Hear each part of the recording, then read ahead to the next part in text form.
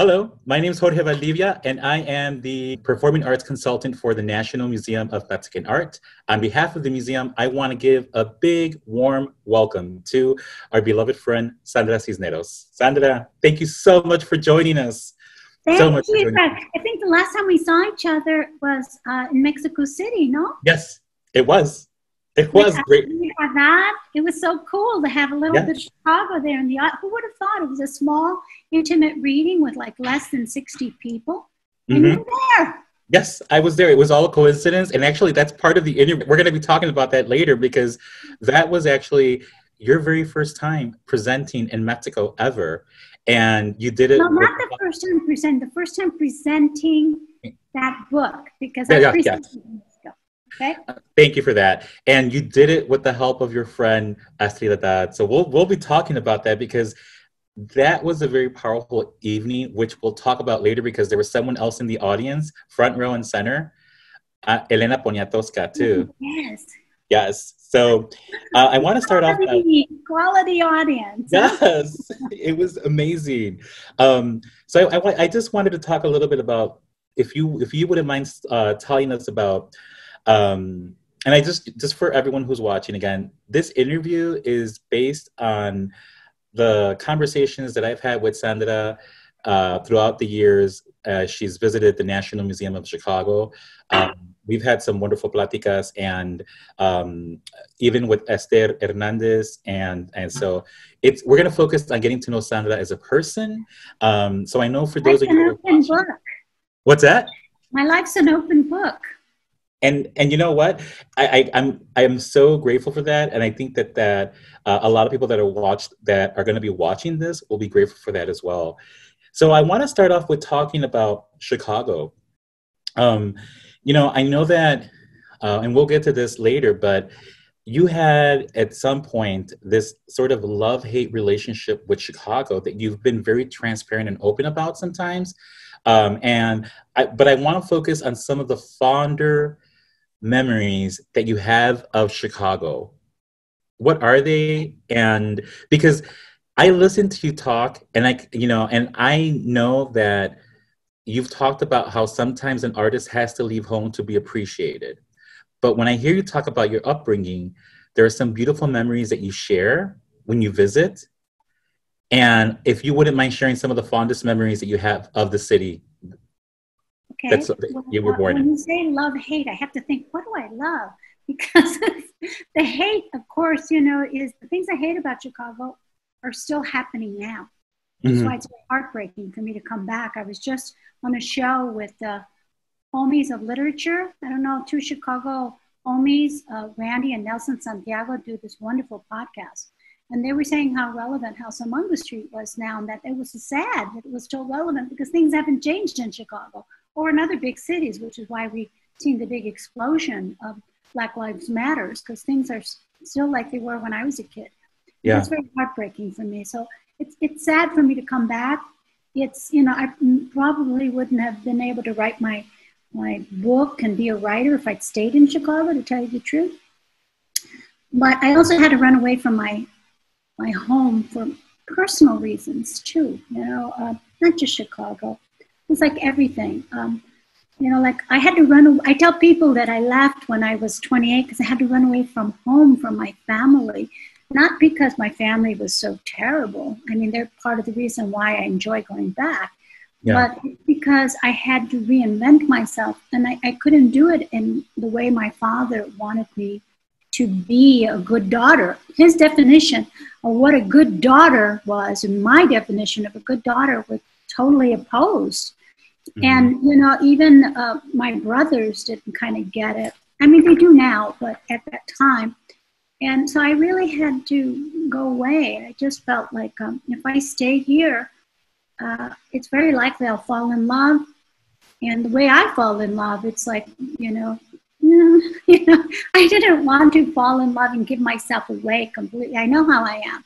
Yeah. And I didn't want to have children after I after I was the nanny to my niece, I realized how much work it was, and yeah. so I mm. made a choice and said, you know, I, I, can't I can't do it. I can't invent myself here. There isn't room for me to invent myself.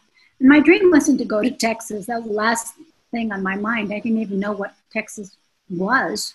My dream was to eventually move to San Francisco and be around the Latino community of writers.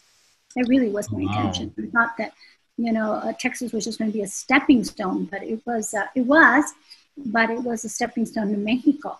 And mm-hmm. what I intended to be a year turned out to be 20 something years. And yeah. uh, I was always looking for like, I was always looking for a um, place that I felt I belonged, which is a definition of home, you know? Right.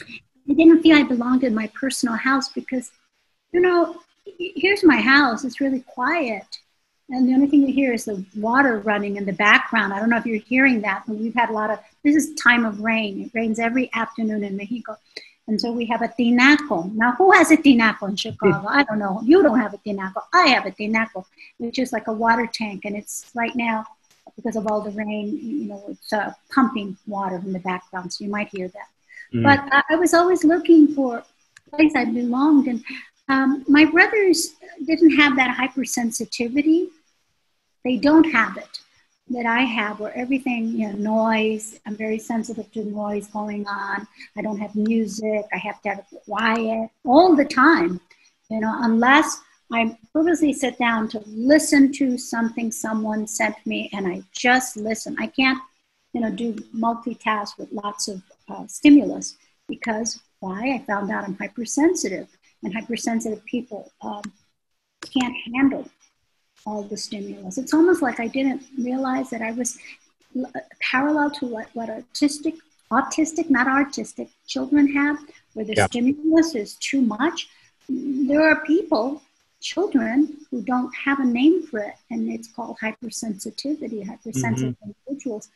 And uh, I, it's very good for me because I can um, perceive um, energy. You know, I can just perceive if someone's how someone's feeling yeah. I can see plants and animals and, you know, the energia and the vibes.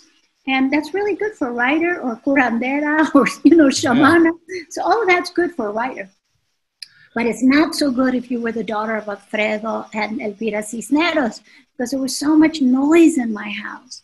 And my mother, the first thing she would do is jump up and put on the radio. My brothers would put on cartoons, and it was just, ah, my father put on his television. And you know how it is in Chicago. We're all living amontonados. We don't have our own room. We're lucky, you know, we have our own couch, a couch of our own. You know, so it was like mucho, mucho. It was too much. And yeah. and my mother didn't get me. She would always just think I was bien chiquiada, you know. Hi. Know, but my father was also hypersensitive, except that he was gone.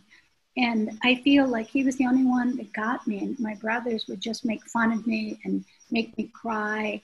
And, you know, I couldn't understand the, the, this condition that I had and that other people have it. And that later on, when I grew up to be an adult, it would be a gift and be part of my profession. I'm just very lucky that I, I found that my profession and that uh, I have writing to keep me balanced because mm-hmm. writing to me is like my medication. Some people have to take medication to keep from having seizures. Yeah. Like in Chicago, uh, I, I, had I cried every month. I thought that was normal. I cried every month, a, a dance crying jag every month, and I thought that was I thought that was normal. And and now I realize, oh my God, you need a therapy. But uh, you nobody tells you that when you're coming from the radio that you need therapy. They might, you know, maybe if you're lucky, get the lady next door to rub an egg over your face, and that's it. Yeah you know, or maybe if you're real Catholic, go talk to the priest. That's it. Right. If you're lucky. Right. But there is that sense of nurturing our um, our heart and uh, taking care of when we're heart sick. Mm-hmm. There's that recognition when you're working class. You know, that's for gente, you know, con dinero, gente chiflada, you know, that think they, you know, they think they got problems.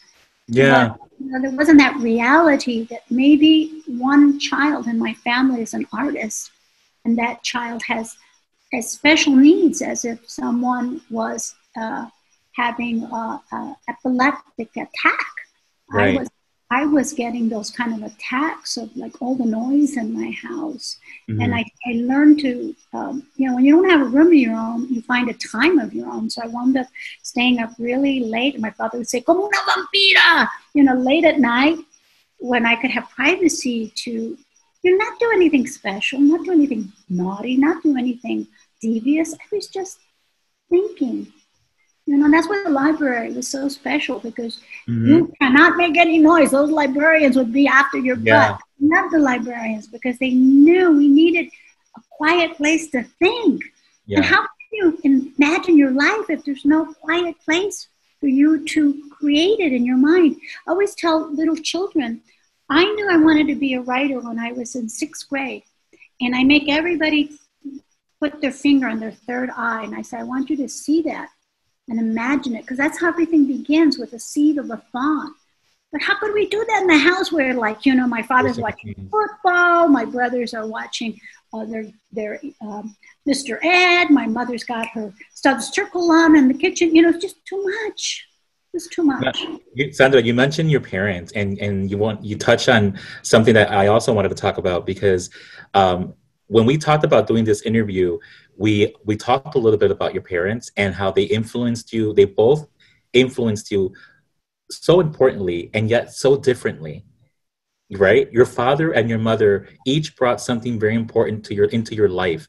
Can you talk about that? And you know and later in the interview i want to t- talk about your mom but for now let's talk about what they brought into your life because well, first uh, i want to say they were the most ill-suited pair i've ever met. You would think like what are these two people doing together? But i think my father and my mother met each other when they were each expecting something different from one another. You know, I think mm-hmm. my father expected like a typical Mexican wife. My mother's Mexican American. And uh, my mother was expecting, you know, a life different from what the men in, in the Pilsen neighborhood could give her.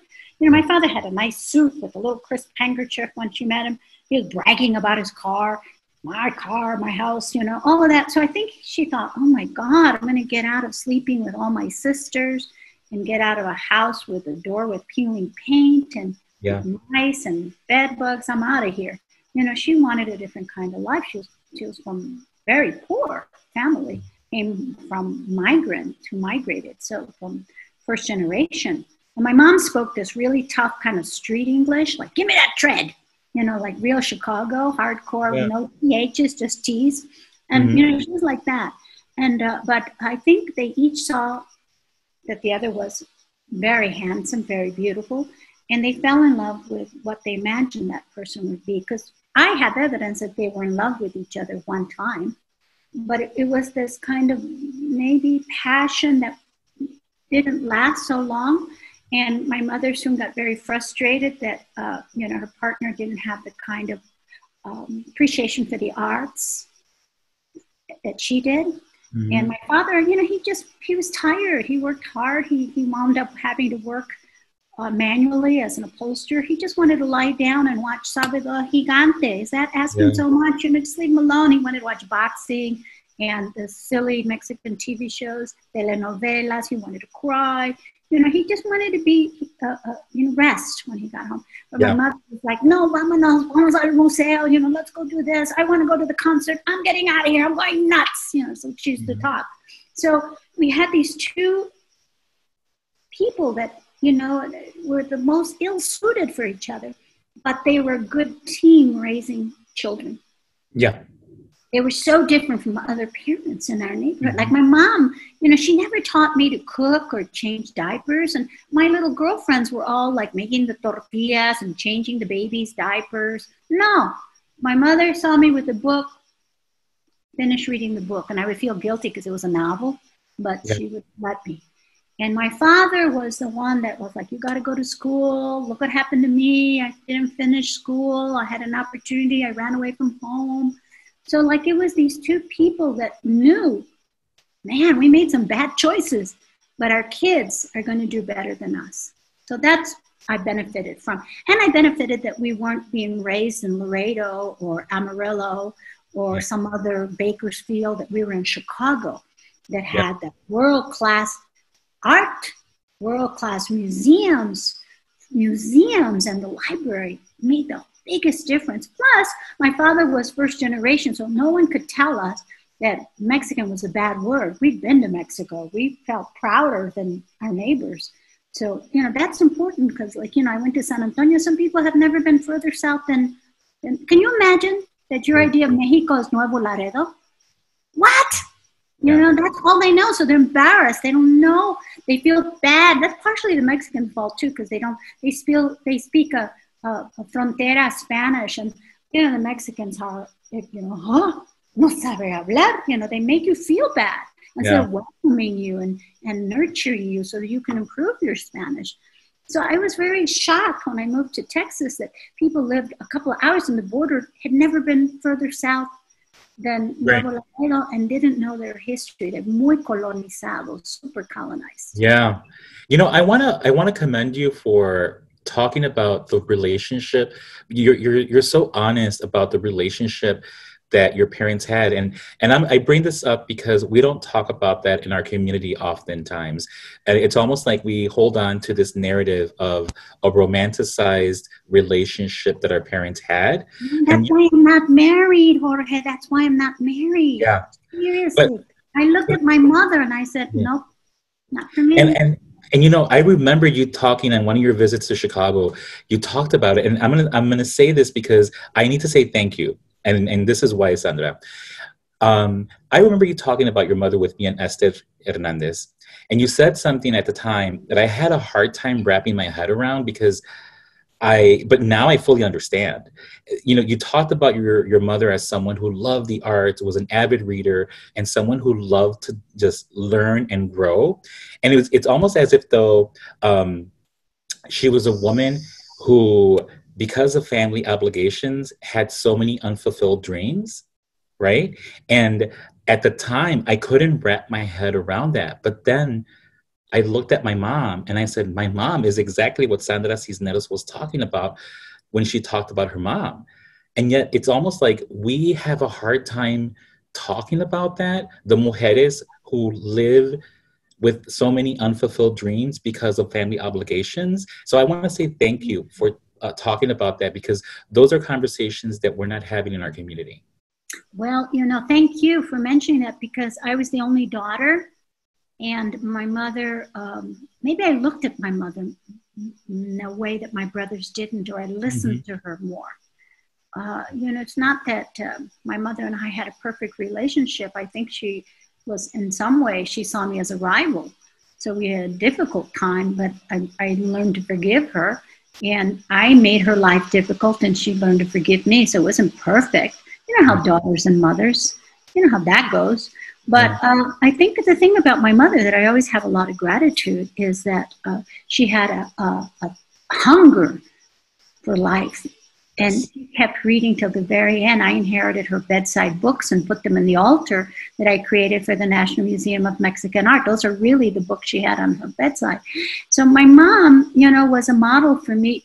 She couldn't live the life she wanted to be, to be an artist, but she opened the camino for me and my brothers to live the art, in my case, or appreciate the arts. You know, I can't tell you how many of my brothers play an instrument and or draw mm-hmm. and or uh, collect art and or you know love museums that's my mom she planted that seed in us and yeah. you know ever since she lived she used to live over there by st francis church on roosevelt there and uh, yeah. peoria and uh, she used to walk to the museums to save money with her friend and maybe skip school and go spend the day in the museums that sounds like wonderful education when you think about people who have spent their time in the museums, like Basquiat, the painter Basquiat, he would skip school and go to the museums too. That made a whole difference. That education he got in New York museums. My mom, you know, her uh, hunger and time that she spent in the Chicago museums made a woman who was autodidacta, self-educated self-made. Maybe she couldn't spell, but she knew all kinds of words and, and writers, and she read our textbooks. So made for a very different kind of mom, you know. And I have to appreciate, quizás no pudo lograr sus sueños. Maybe she couldn't reach her own dreams, but uh, it took like one generation of women, perhaps, or maybe several maybe I'm lying and just looking at that one. I don't know my grandmother's life and yeah. all the ones since the conquest, so that arrived at a time when I could be educated. Because I was just saying to Elena Poniatowska, because I just interviewed her on Valentine's Day, if I had, if my grandparents had stayed in the little rancheria here in Guanajuato that they emigrated from during the Mexican Civil War. What would my life have been like if I'd been born from different? Mm-hmm. And I think my when I look around me here in Guanajuato, what is the library of the women? Their library are those servilletas you use to wrap the tortillas, you know, the little cloths that Yeah. all embroidered with little words. Eres mi amor. Sí. Vive conmigo, you know. Eres Yeah. mi niño. Now that would be my library. So Yeah. the, it's phenomenal to Yeah. think about the trajectory, and and perhaps it goes beyond the conquest. You know, all these women who maybe all they did was spend their lives, you know, working very uh, uh, difficult lives to feed their family, so that I could arrive at a point where what I don't know how to make tortillas, but I can make stories and I'm allowed the luxury to be an artist because it really, you know, I, I can't tell you how every day I'm astonished that I'm Mhm. A writer and I feel so lucky that, you know, I have a house and I have an assistant, I have my little dogs, that I get up and, you know, I could go straight to work. I don't have to make the bed if I don't want to. I, Right. You know, just like, you know, it's like, what? I don't have to do all of that that my mother had to do and feed people and satisfy your husband and satisfy the children. I can't tell you, um, me siento muy bendecida, but I know that I'm standing like on my mother's esfuerzos, Yeah. my father's and their mothers and fathers, and all Yeah. of the literary uh, maestros espiritual, sea que de mi sangre o no, my, my spiritual family has brought me to this incredible. I didn't even dream this life. I couldn't, it's beyond my imagination. Tuve mucha suerte. No sé cómo. I think I must have had a really hard life with like 12 kids in another life because how did I buck out on this one? No sé. But you look, but look at you now. I mean, you sort of, you know, you looked at your mom. You saw her perhaps differently than your brothers did, and it speaks volumes to how that influenced your decisions about your life moving forward. I would ask my mom, like every time I, you know, we had a little private moment, I'd say, Mom, why didn't you, when you were in the hospital, all those times giving birth, Mhm. why didn't you ask to get your tubes tied? And I was like, they didn't think about that. They had no control over their fertility. And I always tell young people one of the three things I tell them one, earn your own money. My mother taught me. Two, control your fertility, which my mother taught me. And three, you know, solitude is sacred. That's our time to create and to nurture ourselves. So why didn't they? Because that wasn't part of their um, consciousness. Right. And so to me, it's like key. Women have to control their fertility. We have to control and have the rights over our own mm-hmm. bodies. We got to vote so that we have those control. We don't want to go into the handmaid's tale. This is the time crucial. We have to vote and we have to decide and we have to support the organizations that defend a woman's right to control your body. Because if you don't control your body, imagine, Jorge, if you couldn't control your body, if the law said, no, you got to have children, or no, you can't have children, or whatever. Yeah. No, you may not have an orgasm, or whatever it was. Can you You- imagine? Right. And you know what? Sandra, I, I that's another thing that I want to commend you about, because commend you on, because I still remember us talking about. A lot of people may not know this, if, but if they pay attention, one of the things that you have always advocated for was, was is for women to talk about the very same things that you're talking about now, to be sex positive, to not be ashamed, Latina women, Mexicanas, to not be ashamed about talking about sex, um, to talk about you know um, the women's right to their own bodies. And and i appreciate that because i think those are the conversations we need to continue having in our community. you- don't you think it's a crime that we don't talk about it? Aren't we guilty because of Yeah. the teen pregnancy? Because we're all like, oh, que dirán? Don't talk about that. Wait a second. You know, the good thing is like when I come in and talk to young people, most of the time when I speak, uh, Mm. I'm not a teacher, so I can say things and not get fired. You know, a lot of the teachers, they're, they, they can't, but uh, I can. So I try because I think it's so important that we talk about. There's so many things we're taboo, are taboo. Mental health and seeking Yeah. a therapist, uh, controlling our fertility and getting Mhm. knowledge about our body so we don't get pregnant while we're children.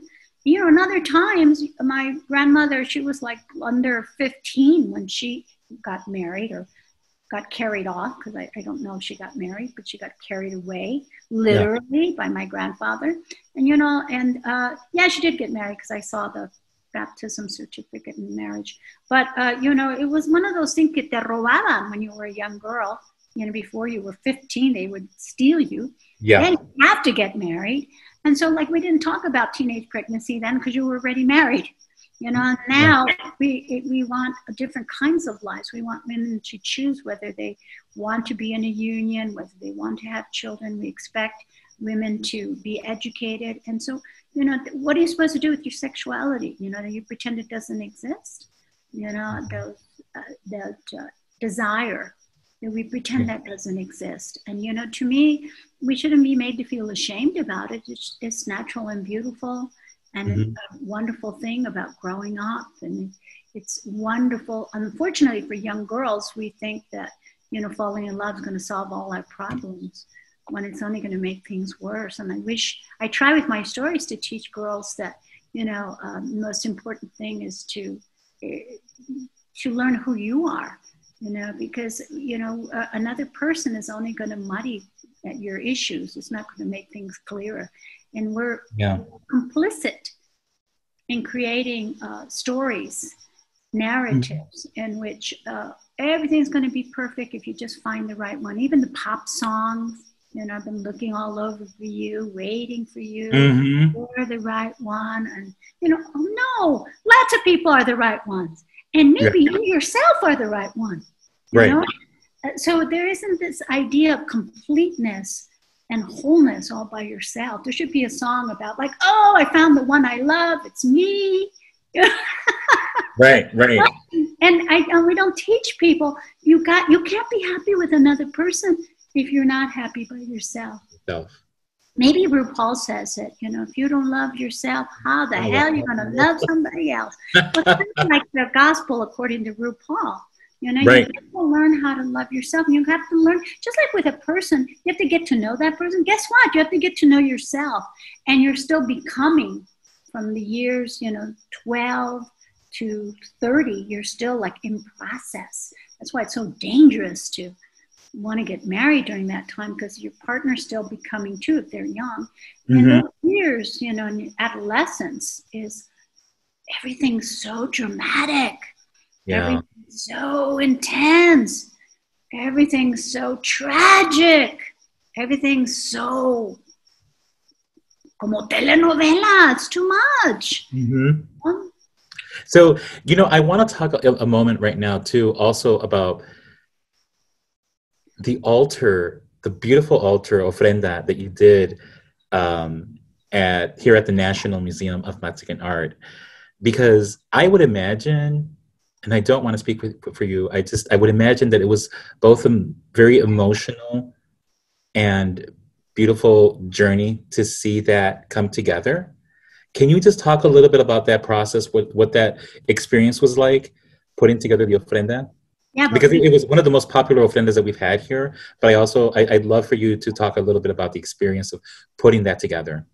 Well, first I have to say that it's thanks to your curator, that your compañero Cesar, no? Cesáreo, yes. Cesáreo, uh, who uh, invited me. What's Cesáreo's last name again? Moreno.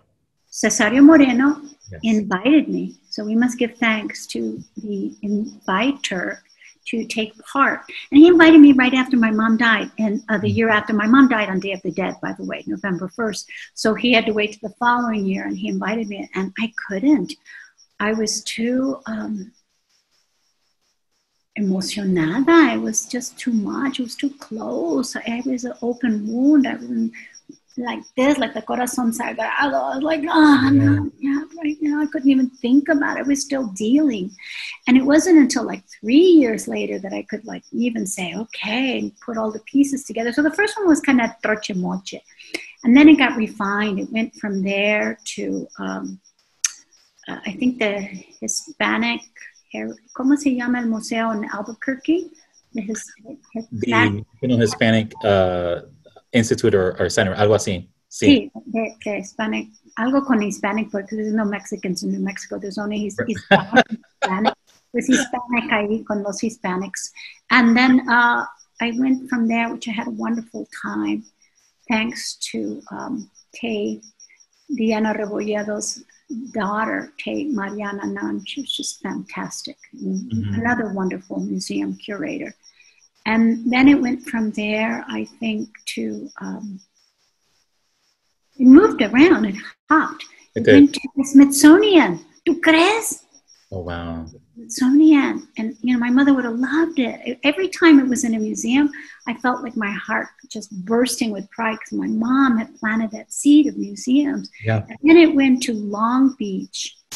And then it came back to the museum. And by then it was like, you know, each time I did it, it got better and better. The first one was very homemade. And yeah. by the end, it was todo un production.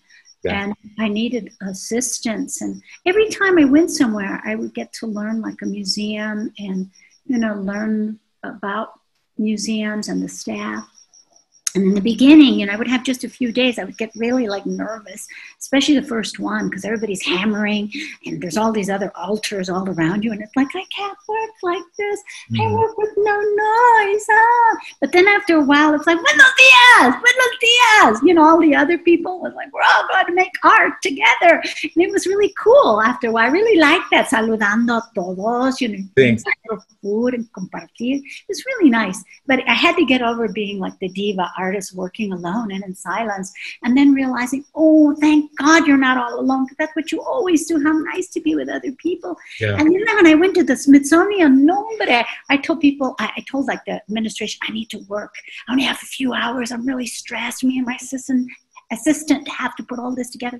No, but they put up like little um, biombo screens it was like Mr. Rogers' neighborhood. Hi, I do the lights. Hi, I work doing the display. After a while, I told my sister, what are we going to do? I finally figured it out. I would say, come in, have a chocolate. I had candy. They would come in. I had like a little pot of tea I wasn't supposed to have. Have a pot of tea. I started inviting people. Would you like to help? Oh, yes, I would love to help. So everybody helped us. The guy who did the lights, you know, they all took ownership mm-hmm. and helped. And they helped us do it out de volado. So sometimes you gotta, always you gotta go with the flow. Yeah. You gotta not resist. You gotta go with the flow and invite those people who are not keen to take part. Because guess what? They're frustrated artists. Yeah. They want to make something, and you're like making their lives that week. I can't tell you. And the, and you know what? I have to tell you a secret. Tell me.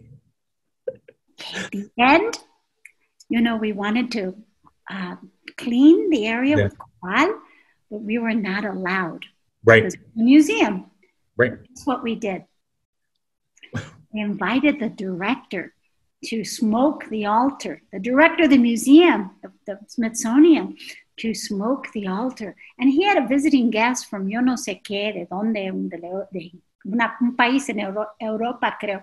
And they both came, they smoked the altar, le hicieron un limpia, and thanks to that, that's how we got around not having uh, anything, um, any lit right. object in the museum. ¿Tú crees? Yeah, yeah.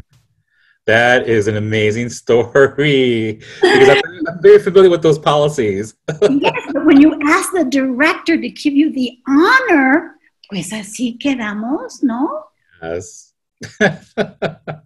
yeah, you know, it's funny because um, I remember seeing your ofrenda here in Chicago the year that um, Juan Gabriel died. Oh, yeah, yeah, yeah, yeah. What yeah, year was, was, that? It was uh, 2016, was it? I uh-huh. remember 2016, 2015. I remember um, the ofrenda was directly to, it was just off to the side. They were almost, you know, side by side. Yeah. And it was a very busy area. And so I just remember that particular area, you know, for obvious reasons, was very uh, busy. And it was just a very beautiful ofrenda that I know that you had built together um, for the museum's uh, permanent collection, right? And then I took uh, my mentors, Gwendolyn Brooks, you know, her daughter, Nora Blakely, met me at the corner diner, that little diner on the corner. We went and had breakfast. Oh, you know, it had changed from when Güeros owned it before. It was, you know, just sandwiches and eggs. Now it was like smelled like refried beans. There was oil over the air. It was like smoke. we got a limpia from aceite, you know, from todo frita. And we all came out smelling like fried tortillas, but we ate a nice breakfast there. Nora Blakely was very cool. I said, "Come on, I want to show you my mom's altar," and we went and you know it was really special because her mom was special to me and she had a mom. And i shared the altar and we just had a wonderful visit. It was very cool. Thank you for sharing that story because i think a lot of people don't know that story behind the ofrenda. And i wanted to throw i, I just wanted people to know the story. It's a beautiful well, story. i want you to know that my nieces and nephews that not all of them because i haven't done much but some of them made it. Mm-hmm. and they recognized my mother's bedroom even though it was an invention Yes. You know, my bedroom wasn't those colors, that magenta, mm-hmm. you know, but uh, that um, uh, eggplant and cempasúchil color wasn't that color. But they got it, you know, they got it. They said, oh, that's abuela's room. There's a lot of little knickknacks, a lot of the little framed pictures. Even some things weren't identical, but I tried to get parallel. Yes. The idea of the busyness mm-hmm. of the room and the sense of like it was her first room of her own for those last yeah. and i think that uh, you know it, it's a, it's a testimony too to your mother because she in a way got to continue doing what she loved doing in life which was visiting museums. And she traveled even she made it to the smithsonian you know? Cool jorge. They put her in the room with the ruby slippers next to the ruby slippers, not in the neck right next to, but in that room. And yes. guess what was right next to her display? Um, Archie Bunker's living room. Oh my god! I went in there and I saw the ruby red slippers and Archie yeah. Bunker's living room. I was like, my mom loves this. Oh, and more than anything, they put all these, you know, the, because we had invited the staff to come in and help us, they mm-hmm. put TLC in whatever they did. So the guy mm-hmm. who did the light, you would have thought he worked for Tiffany the jewelers, the way he had put set the lights up. So everything yeah. jewel like. I was like, oh my God, you know, because he said, I'll take care of the lights. Don't worry. Go, go. And he like worked extra love. And when it was all like, imagínate like my mother's altar was the ruby red slippers with like those those incredible lights that make everything like yeah. Oh God, it was incredible. I saw people, I'm not talking Mexicanos, we're talking gringuitos, mm-hmm. old and young, standing there looking for like minutes and minutes and minutes. And there was a woman who came up to me and she said, Oh, this is so moving. Not Latina. Mm-hmm. She said, I'm going to do this for my family. And then I'd hear from somebody else, I, I want to do this. I didn't know you could do this. You know, people just felt a connection to our culture. I'm sure you see that when they come yes. to the Day of yes. the Dead. Everybody, we all have in common, you know, death. We, that's the one place mm-hmm. that we all go to. And maybe that's why this time in the pandemic is making us live with the corazón abierto, you know, yeah. in that place that artists put themselves, which mm-hmm. the, the heart cleft in two. So it was very, um, it was a magical mystery tour each place I was treated well, yeah, good or bad, but I won't say who treated me bad. Oh wow! Private, but the museum treated me very well. The Smithsonian, the Hispanic Cultural Center in Albuquerque with Tey Marianna Nunn, such a maravillosa mujer. You know, I had really good experiences there. That's beautiful. Thank you for talking about that. Um, if you if you'll humor me. I'd like to talk about um, Have You Seen Marie? Because this this particular book um, I want to talk about because the illustrations were done by your amiga Ester Hernandez, yes. and I remember when I spoke um, with your agent. I agent. want to do it. I had to like arrancar. I had to fregar y fregar y fregar. Come on, Esther. No, I don't. I don't do that. I had to make her do it. So you know, and and one of, what I really appreciate about you that you did is when we talked about I, I, when I spoke to your agent, one of the conditions was, yeah, she'll come to Chicago, and but she wants Ester to be there too. And you know, it, it's it's I think it speaks volumes to Sandra Cisneros always watching out for her fellow artists. I was always that kid that like no one talked to because I moved everywhere. And I and one of the things I learned from moving so much that people don't see when you're in pain, but I could always see who was in pain and who was left out.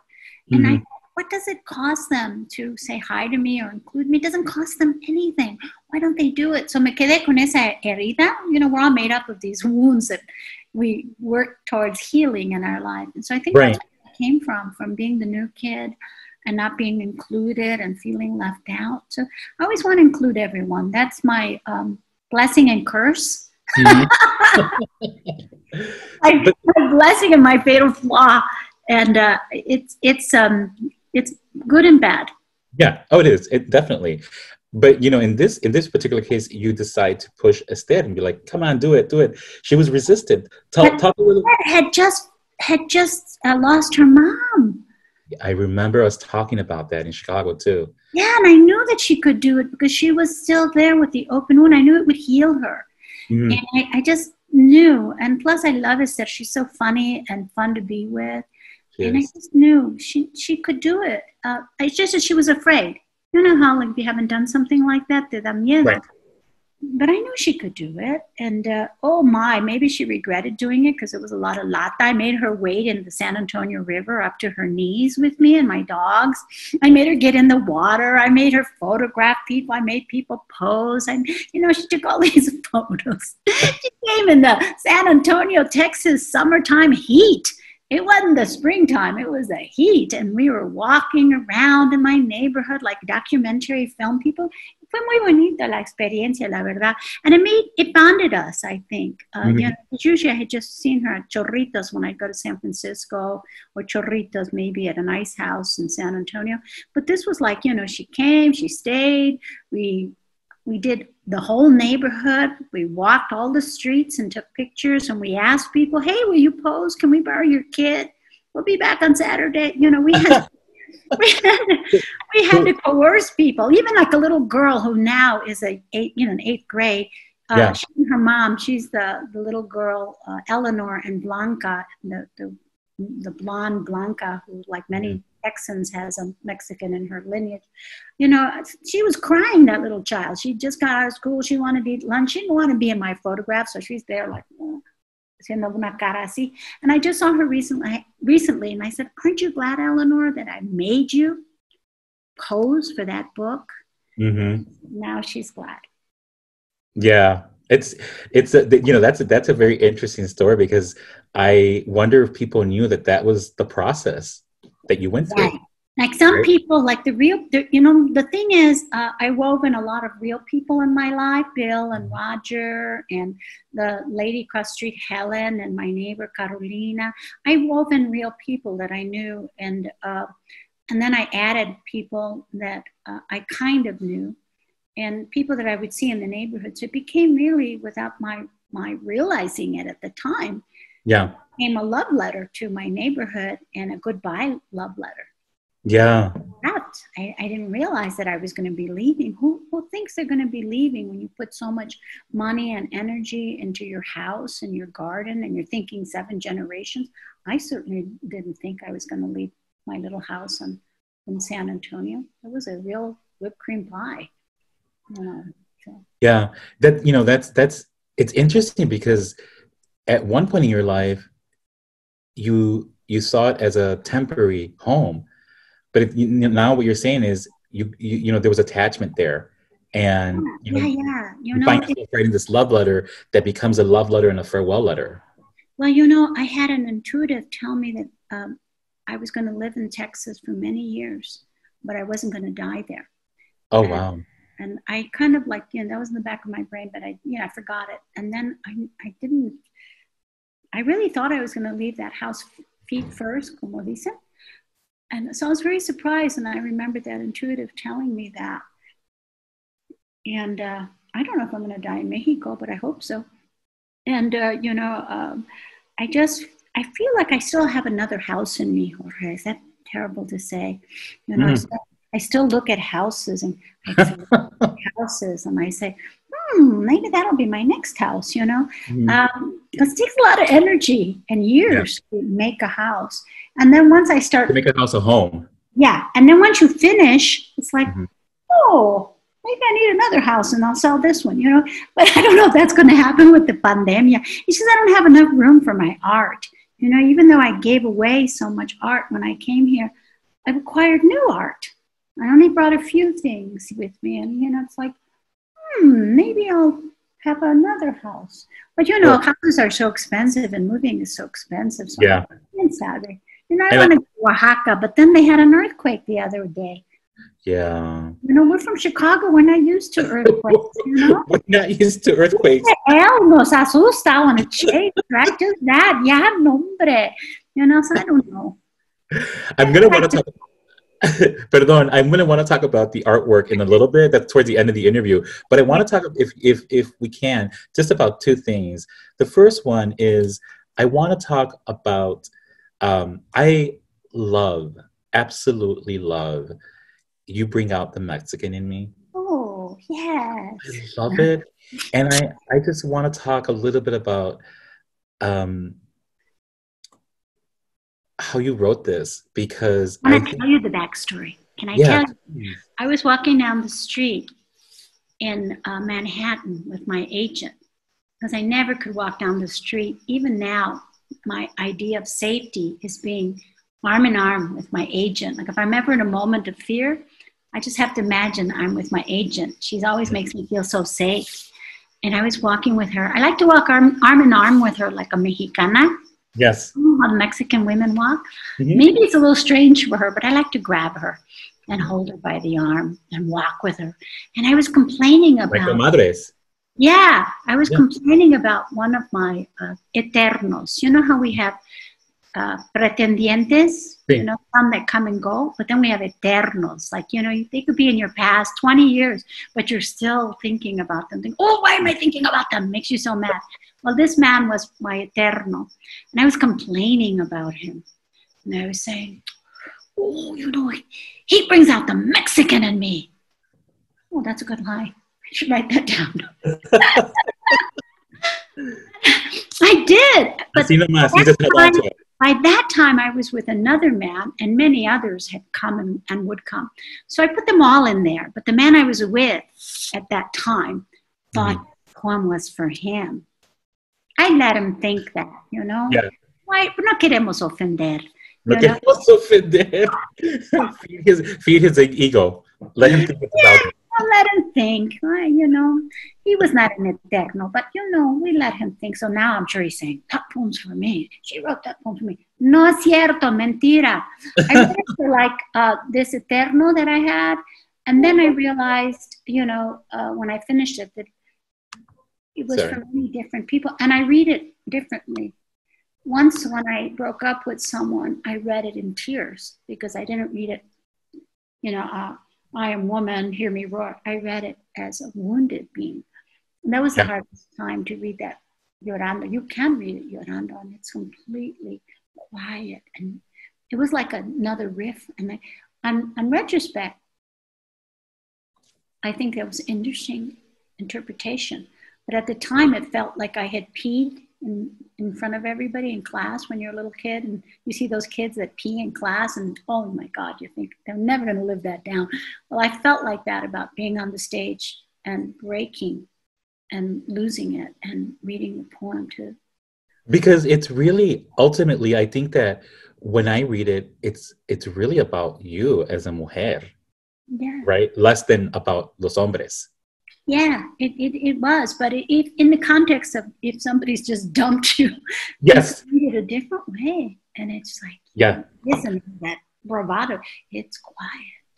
Mm-hmm. You try reading it quiet with crying after someone's broken your heart. It's a completely different. What I learned was that I used to read that last line uh, with bravado love, you know, the only way I know how. But after that, I learned to read it in a quiet way. Love. The only way I know how. That's different. Yes. and it's it made the poem better, even though it was an embarrassing situation to cry on performance for me. And I've been close to tears, and I do my best reading when I'm on the verge. I don't want to cry, but I do my best when I'm not trying to cry. It's just that the, I relive everything when I perform. I don't, you know, I'm not remembering. I'm reliving it. So, um, you know, it's like um, every time we perform, it's like we're swallowing swords. Or, mm-hmm you know, and everybody's going, oh, hi, you know, but I also am like, ah, you know, I feel like I'm the sword swallower. And when I perform, it me cuesta, me cuesta. You know, if I was Amy Winehouse, you know, I understand why she would have to get drunk afterwards. Fortunately, I'm not a drinker on drugs. And, you know, I just feel after the performances, you know, I always, when I come to Chicago, I would make your driver stop on Western Avenue and get a couple of hot dogs well, you know, I'm going to say this. Uh, people might not know this, but as a presenter, I can I can say this because uh, we've presented here at the museum many times, and one of the things that I have realized about you is um, I see different levels of of um, esfuerzo that people put authors into reading, right? But you are the type of person that wants some space right before you go on stage, right? And it's it's it's it's almost like hay un respeto allí for that moment that you're asking for. Because when you go on stage, Sandra, I'm going to tell you, you really. Now you froze a little bit. So, which reading were you talking about? Uh, it was. I did hear. I was going to say I haven't had a chance to hear you read uh, you bring out the Mexican in me, but that's not true. I did see you read it here at the museum once. Well, you know, uh, once I read at the museum with another Chicana artist whose name will I will not name, and I had come from. I made the mistake of coming with my family in the car, yeah. And the only reason they came to hear me was because they wanted to go to um, eat Mexican food on 18th Street afterwards.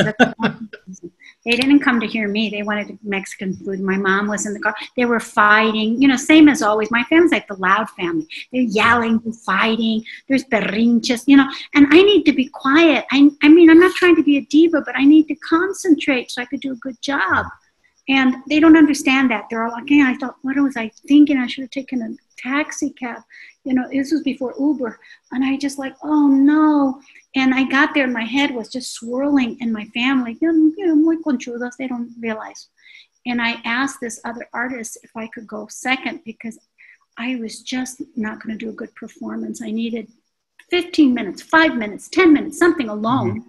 Yeah. And se puso toda chiflada. I remember Carlos will tell you this story. It was like the war because the other artists wanted me to be the, you know, usually the place of honor is the second. Right. Versus like the backup. And uh, she got very angry, but I wasn't trying to make her angry. I wasn't trying to pull rank. I just really was in a place that I was having like a nervous breakdown and I couldn't perform until I had just to calm myself from my family being in mm-hmm. the car. And to make matters worse, afterwards, when they were signing, my brother came up to me and said, Mama's mad. She wants you to go faster because all of the signing takes so long. I was oh. saying, Take Mama to the restaurant. I'll be there. Oh my God. You know, I signed and signed. I was so tired. Jorge, when I got to the restaurant, well, first I had to walk to the car because I'm not the mm-hmm. superstar with them. I'm just the the sister, you know, in the cold to get to the car. Then we had to like park really far away. Then I'm walking in the cold to the restaurant. We get to the restaurant, everyone has eaten. There's no food. All tables littered with like dirty plates. Nobody has ordered any food for me. Nobody treats me like the like la escritora. I'm just the sister. I'm just the daughter. I thought, man, this is the last time I come with them when I'm working. They don't mean it, but they don't understand what I do and what it takes. Mm-hmm. Uh, I can't be the daughter and go to lunch or dinner with them, uh, and I can't be the author. You know, just. You can't be both at the same time. You need a space. Oh, no, no me conocen. And even now, after all these years, no me conocen, you know? Yeah, but I get it because as a presenter, I think you have to get into the zone and that requires preparation, you know? And it's a performance. Yes. It's a performance. Yes. So like, I always think like, you know, imagine when you go to you see the Olympics and they're going to be, they're going to do their um, routine, those mm-hmm. ice skaters and uh, you know they're about to go on you could see that they're like you know about to go on and then like in for me i'm about to go on and i'm like this and people are saying can you sign my book and I say, "Oh, I'm sorry, I can't right now. Could you wait? Till, I can't wait. I gotta go." You know, sometimes I just do it real quick, but then they don't realize that they're making me lose my concentration before I do my routine in front of the judges. You know, it's that kind of nervios. I really feel like I've got to. I feel like you're asking me to climb up a telephone pole mm-hmm. and jump and land into this vaso de agua.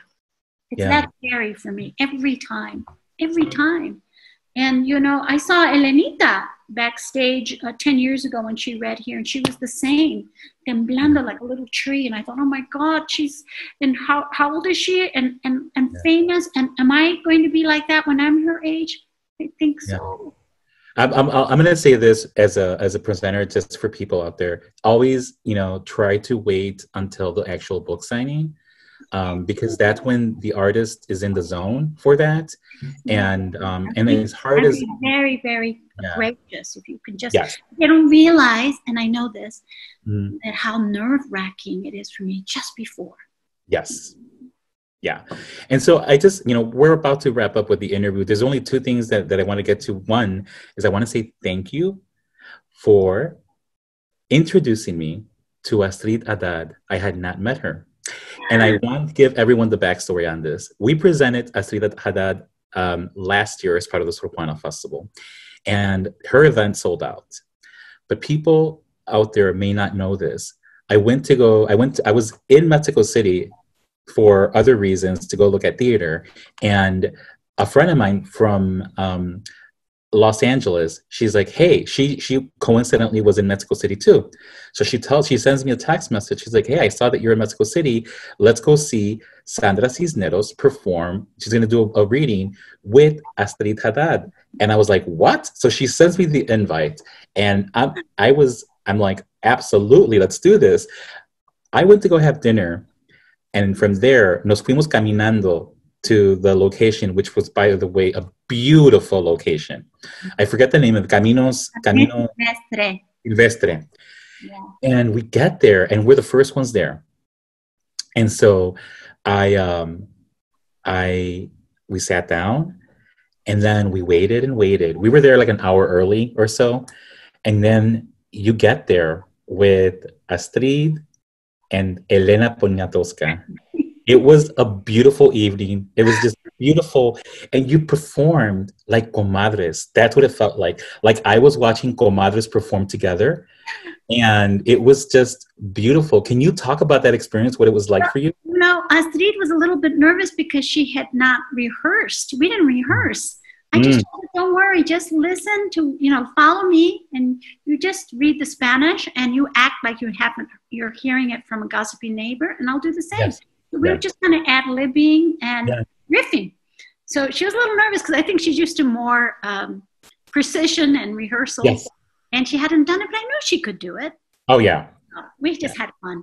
And then And we did it did. again in its entirety here in San Miguel, and we were even better the second time. But you know, after a while, I, I you're right, Astrid. Um, she's a perfectionist too, like you, right? And but the thing is, como que se calmó, and she had fun with it Yes, after a while, that's what I right? told her. Just have fun. Yes. Like, you know, it reminds me like when we were kids and we dress up and do skit shows. We love doing that, you know, and acting and having little teatros and making Yeah. people laugh. It's the same. And what I want to say is, I want the reason I say thank you is because when when you got there, uh, you looked at me and you're like, "Wait, I know you," and I said, "Yeah." Mexico." But it took you a moment. I'm like, "You travel so much, you're not going to remember everyone." But the I- problem is when I see people out of context of like Yes. environment, Yeah. my little Rolodex on my brain, you Mhm. know, it's getting overflows. And I think, Yes. Yeah. Thank you for reminding me. But in that moment, Sandra, you didn't miss a beat because you said, "This is Astrid Hadad. You should take her to Chicago." That's what you said to me. So that's why you know that led to a conversation. I met up with Astrid. So I want to say thank you because it led to Astrid returning to Chicago to a sold-out performance. People loved it. They had not seen her in over 20 years. So thank you for that. But you know, I'm a connector. Mhm. And uh, I've always been a connector. And my idea of heaven is that all the people I've met throughout my life will all be at the same party. You know, and, and, meet each other. Just the joy of, of, of you meeting Astrid, it, it, it me da un placer. I can't, yeah. I don't know why. I just like connecting people. And when I hear, like, I wanted to mention that Camino Silvestre is struggling right now in San Miguel. All the businesses and artesanos are oh. struggling. So, your little gift shop, I'm going to send you the info of the person to connect with at Camino Silvestre because yes. you know, we have to, right now, we, we need to connect in this time. That, Absolutely. Uh, you know, it's a difficult time for everyone. And and there's also when we stop recording some other connections I want to make. So oh, we, will talk about that. Yeah. Yeah, we'll talk about that. Yeah, but absolutely. I, I, just feel like yeah, we're. It, what does it cost us to connect? Nada, nada. And, and for anyone, me da un placer. For anyone that's watching right now, um, please, if you have a chance, once you go to Mexico City when uh, everything reopens, visit Camino Silvestre in, Mexico City and in San Miguel. But see these negocios right now, I don't know if they're going to make it. That's why I'm buying all my Christmas presents right now. Yeah. Mina Silvestre. And everybody should be buying their Christmas presents in July from the Tzintzuntzan store at the National Museum of Mexican Art in July. If we yes. all did that now, we wouldn't have to worry when December comes. Whew, we're done. Yeah. So this exactly. is a good thing to do while we're on lockdown or I call Santuario, buy your Christmas presents. And what I try to do is strategically support a small business that's helping the artesanos. And I do it from here. I also do it in the United States. You know, I'll try to pick somebody yeah. I think is doing the good work or somebody that's helping to, uh, you know, give a percentage of the sales to help the animals and the people and who are mm. hurricane victims. I'm always trying to pick because, you know, we all got to buy a lot of presents, so might as well support the uh, institutions we love. Absolutely. Thank you for that. And the last question is give us an update on um, this is the last, last question, yeah, pero give us an update on. I read that um, House on Mango Street, there's an adaptation that might happen for television.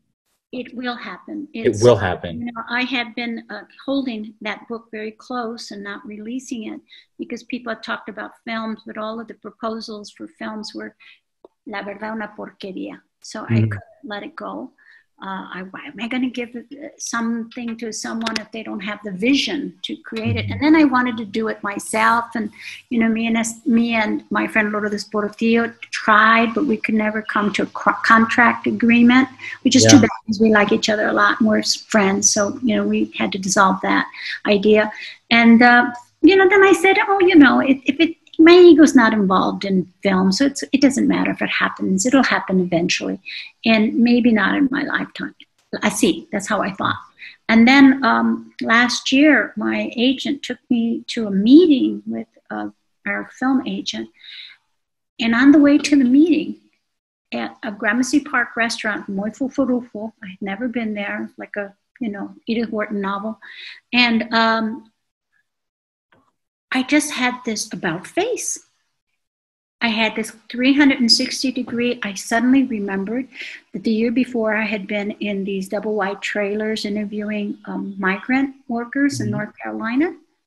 And I thought, oh, remember what those children were watching on television? They, they watched the Disney Channel with Latino actors, Mexican um, American actors uh, performing in white stories and white yeah. houses. And I thought, no, no. And I said, oh, what if we did television? Television has kind of grown up in the last 20 years. You know, when you think yeah. about the wonderful yeah. television and the writing, yeah. I said, you know what?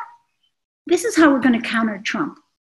We're going to come into your living room and tell you stories that are counter to what you think we are. Mm-hmm. And, you know, House on Mango Street is a neighborhood of Black people. There are Tejano migrant children there there are poor whites. If you don't understand that, then you haven't looked at it carefully, you know. And that community doesn't happen everywhere in the United States. Yes. Uh, so I thought this is a story for everybody who has uh, worried about their next paycheck, and that's a lot of people in the United States. So I said, yes, I'm ready, and we're in that process now with uh, the uh, Gaumont, yeah, with interviewing writers. We're not even in the, you know, we're still in the very early stages uh, even great. with the pandemic going on. I've got some Zoom meetings. That's one project with House. The other project is that me and Derek Bermel are doing um, the opera. House on Mango Street. Right. He's done some of the music, and it's so cool. We're like almost done. We're like a draft six, and that is so much fun to be working it with someone else. You know, amazing. Yeah. So that's great. That, I mean, thank you for sharing that. And I, uh, I guess that's, you know, I don't, I know our, t- our time is up, but I, I want to say thank you. Aw, really? Well, we're, we're going to talk a little bit about connections uh, once I stop recording, because yes. I know you wanted to talk about that. But um, before we end it, I, um, I want to take a moment to acknowledge what's happening right now. We're living in a time where you started off by saying, we started off the interview by, by you touching on what's happening right now. We're in the middle of a pandemic, but in the middle of this pandemic, we have seen uprising and we have seen the Black community come together to talk about Black Lives Matter. And it's become not just a national part of the national dialogue that we're having, but it's become really a global movement. And I just want to give you an opportunity to talk about um, about that because as an artist, I think that I would, you know, I I would say that it probably excites you to see that happening, right? But I yeah, just I've been on those marches. Yeah, you know, I've been on those marches since way back. I, I remember witnessing the marches in Humboldt Park neighborhood in yeah. '68 riots. You know, when I wasn't old enough to march or understand what was going on. Yeah. But uh, I subsequently I've been in the last march I was in was in San Antonio for immigrants' rights at the beginning of this uh, century and uh, you know so i'm you know i was kind of frustrated that it was always the same people that were marching and now it's like these coalitions uh, yeah. i did go to the march in washington two years ago uh, when people uh, descended on washington d.c to protest children in cages and mm. i was at that march um, yes. more as a kind of trying to look for someone to interview because i'm working on a project but uh, I was so shocked to see all these white people with their little kids there instead of yeah. you know immigrants. And I thought, wait a second, immigrants can't be here; they'll get arrested, of course. But the fact that people were so moved about the separation of parents and children that even though they weren't brown, they were there. Yeah. There, these coalitions shocked me. So I'm sure the same thing's happening now with you're seeing these coalitions, yeah. and that's exciting. It is. And it's so exciting to me to see the young people. On the one hand, I love that it's the young people that are organizing, that they're doing this, you know, with the um, social media. But on the other hand, uh, social media also festers uh, a lot of people talking. Uh, um, oh yeah talking from anger and not yeah. not transforming that anger and I, that's a worry i have that mm-hmm. you've got to compost your anger to do something positive what are they doing with their rage they're doing something positive like marching yeah. that is that i commend i admire i wish i could march too yeah. And uh, I makes us so proud because you look and then you see globally. Then you see that mm-hmm. that Hispanics in New Mexico they want to bring down the the Oñate statues. Yes, bring down those conquistadores. You know, yeah. it's just exciting time because people are identifying with the Black Lives Matter movement. They're saying, hey, that's me too, and right. I'm brown. Or that's me too, and I'm gay. Or that's yeah. me too, you know, and I'm poor. You know, so there's these wonderful coalitions occurring yeah. Uh, in, in our lifetime. So, like, we have to remember this is exciting. We're witnessing uh, a revolution, and it's beautiful. I'm uh, I'm emocionada sí. witnessing it. No. Yeah, no, absolutely. Sandra, I, you know, I'm going to stop recording in a bit. I just want to say before I stop recording, I want to thank you. Oh, you're welcome. Art, como una comadre, uh, madrina de ello de, del museo. I just, mira, I want to thank